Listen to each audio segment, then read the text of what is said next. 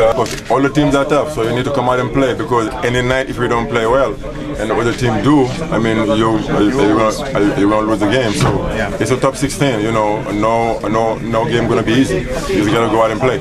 And what do you feel? Are you getting used to the team and to the play? How? Yeah, definitely. You know, I mean, the coach been doing a great a great job with me, and and my team has been very helpful. You know, Z, you know, the, the big fella been been helping me. You know, I mean, he's he's a great team team leader, and I'm and, and, and I'm watching him and, and and learning a lot from him. Okay. And just a comment on the game.